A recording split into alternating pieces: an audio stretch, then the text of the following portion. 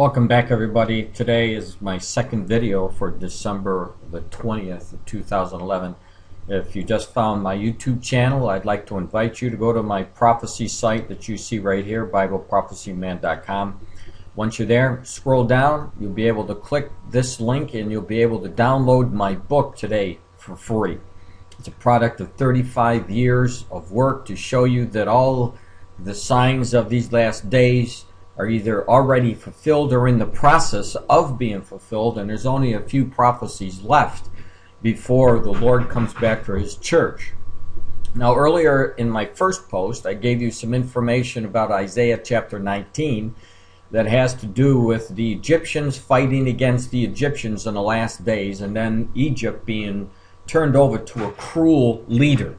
And we see that the Egypt is in the process of going through this development right now, and uh, soon after the elections are over, I imagine that this cruel leader will come up, and I believe that he'll shoot up from the Muslim Brotherhood. now, keep in mind that, as I mentioned before in my previous video, that Jesus talked about this kingdom against kingdom uh, as well as we see it here when he was talking about the Egyptians coming against the Egyptians.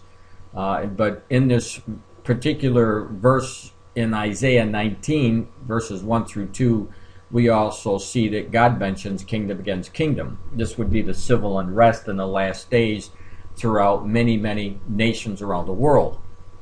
So, with that, let me go to a, an article that came out because I'm keeping you up to date what's going on in Syria because in Syria as well as Egypt and many other of these Middle East nations, they have been fighting against themselves, Syrians against Syrians.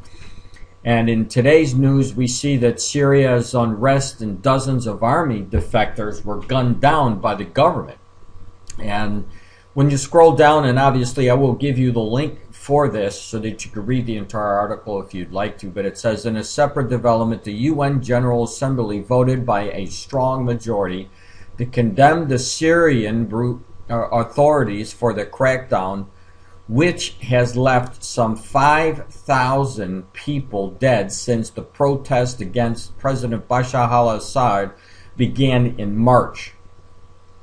So there's definitely signs here, the continuing unrest, as the Lord pointed out in Matthew 24 7, and as what we see in Isaiah 19, where the kingdom will be coming against kingdom.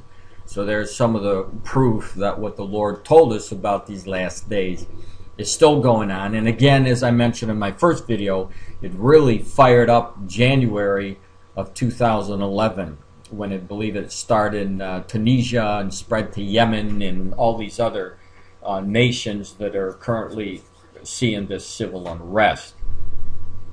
Now let me go on here, if I may, to a uh, another prophecy, and you'll see this in my book here. Right now, this is peace and safety that I was showing you before. Now let's scroll down to get to page 335 and you'll be able to see this in my book. If you go into my book you'll see in chapter 14 is the prophecy about the raging waves in the sea. It says on the earth nations will be in, per, in, in anguish and perplexity at the roaring and the tossing of the sea. Luke 21 through tw- uh, luke chapter 21 verse 25b so the Lord was telling us that in the last days, while we're seeing all of these signs, one of the signs that we would be seeing are huge storms. And obviously, these storms would be causing the roaring and the tossing of the seas. And in 2011, we've seen a lot of these storms uh, hit the United States, the Philippines, Japan, uh, China. I mean, they've been all over the place. Now, I wanted to bring this to your attention because keep in mind the Lord said when these things come, the nations would be what? They would be in anguish and perplexity. And this is exactly what we've been seeing over the course of these years. Now, let me go to the current news, December the 20th. We see here the Philippines have uh, declared uh, a national calamity. The Philippines just got smashed by a storm or a typhoon that was came through, and you'll see now, as an updated number, there's been a thousand people who have been killed by this typhoon that took place this past weekend. And uh, it is a really a bad scene there, and uh, the authorities uh, are trying to, uh, you know, give aid to the people in the storm, and I believe that there's some 600 people who that are not accounted for yet. And uh, you'll see the destruction here. I'll play this for you. No, no, and the death to be rising, and there's still hundreds of people who are missing as well. I'm in the city of Cagayan de Oro, and, and people here have said they really, really do not want to have mass burials if at all possible.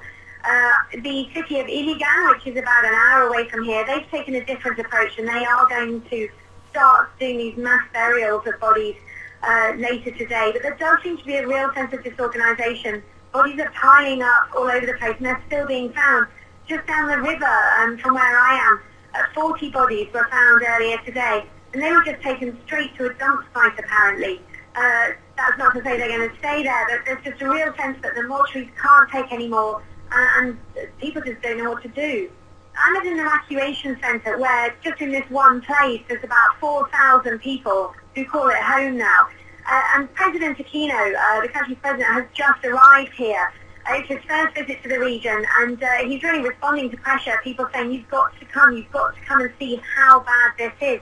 He's talking to people in the evacuation centre. Just earlier this morning, uh, he uh, said um, that he would put the whole area under a state of calamity. Now, when you watch the news and you hear what Jesus told us about the anguish and perplexity, and you see you know, nations that are just being inundated with water and flooding, and people don't have shelter, they don't have food. We've we've seen in 2011 problems like we've never seen before, and they are getting worse. This is what the scientists are telling us. Expect more of the same. And obviously, if you read Mark chapter 13, verse 8, the Lord said that these last days events would be taking place as a woman with birth pangs. And that's what we're seeing increased birth pains. Now, let me get to another uh, article here that, and I'm going to connect the dots between this prophecy because God told the prophet Zechariah that in the last days, uh, Jerusalem would be a burdensome stone. Let me read this. It says, In that day I will make Jerusalem a burdensome stone for all people. All right? Not just some, all of them all that burden themselves with it shall be cut in pieces. In other words, anybody, right? Because it says all that burden themselves are going to be cut into pieces. So when you mess around with Jerusalem, there's a strict warning for anyone that messes around with God's holy city and God said they will be cut into pieces, though all the people of the earth be gathered against it. So we know that in the last days, everybody's going to come against Israel. Everybody's going to come against God's chosen city, his picked out city, Jerusalem. Well, eventually, the Lord, when he comes back, he will be ruling from this holy city, Jerusalem.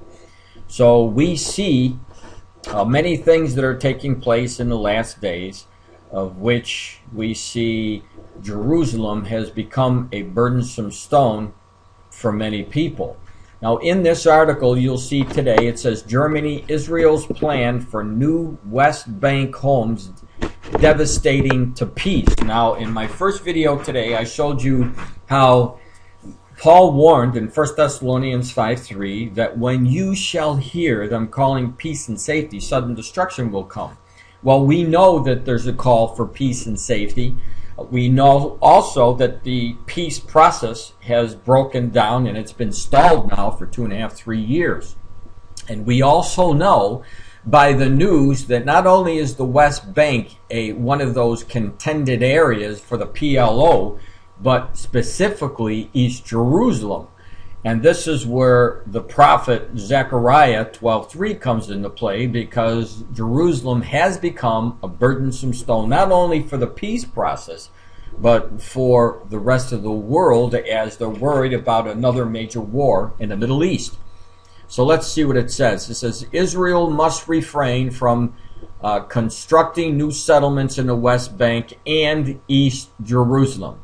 A top aide from German Chancellor Angela Merkel said on Monday, following Israel's announcement of over a thousand new housing units beyond the Green Line. Merkel's spokesperson, George Streiter, said that Israel's recent announcement that it would seek uh, contractors to build apartments in both areas areas conveys a devastating message with regard to the current efforts to resume peace negotiations between the, Israeli, the Israelis and the Palestinians. He said Germany urgently calls on the Israeli government to refrain from venting or inventing bids for the apartments or inviting bids for the apartments says Israeli Palestinian peace talks have been frozen for three years in part because the continued Israeli settlement construction in the territories captured by Israel in 1967 and still claimed by the Palestinians. On Sunday, the Housing Ministry published tenders of 1,028 homes to be built in the West Bank and, as I said, East Jerusalem as part of a plan to build 6,000 housing units throughout Israel. And according to the statement by the ministry, 500 homes will be built in Har Homa of the South Jerusalem on land occupied during the 1967 Six Day War, 348 in the West Bank settlement of Beitar Illit, and 180 in the Givat, the Viav, which lies between Jerusalem and Ramallah. So here we have uh, Israel saying we're going to be building in land that is content. There's much contention between the Palestinians and Israel.